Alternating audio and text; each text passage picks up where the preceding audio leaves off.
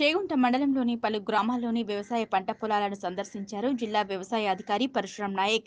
జిల్లాలోని నియంత్రిత వ్యవసాయ సాగు ద్వారా వరి పత్తి పంటలు సాగు చేయడం జరిగిందని రైతు యొక్క పంట సాగు వివరాలను ప్రతి గ్రామంలోని వ్యవసాయ అధికారులు వారి యొక్క పంట వివరాలను సేకరించి పంట విక్రయించడానికి ఎలాంటి ఇబ్బంది లేకుండా తగిన ప్రణాళికలు సిద్ధం చేశారన్నారు.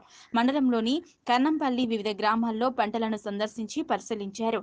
ఈ కార్యక్రమంలో మండల సహాయ వ్యవసాయ అధికారి మాధవి శోకారెడ్డి భువన తదితరులు పాల్గొన్నారు. ఈసారి మనము అంచనా మించి కూడా సాగు చేయడం జరిగింది. ముఖ్యంగా వరి పంటకు మనం అనుకున్నట్టుగా లక్ష ముప్పై ఐదు వేల ఎకరాలు ఈసారి మనం అంచనా వేయడం జరిగింది. మరి అది కాస్త లక్ష అరవై ఎనిమిది వేల వరకు కూడా మనకు వరి పెరగడం జరిగింది.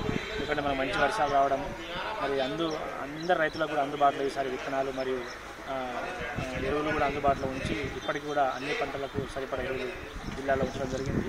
ముఖ్యంగా మనం అనుకున్నట్టుగా పత్తి పంట కూడా ఎనభై వేల ఎకరాలు మనం ఈసారి నియంత్రిత సాగు విధానంలో అంచనా వేయడం జరిగింది. దాని ప్రకారంగా దాదాపు ఎనభై వేల ఎకరాలు కూడా మనకి ఇప్పుడు సాగులోకి వచ్చింది.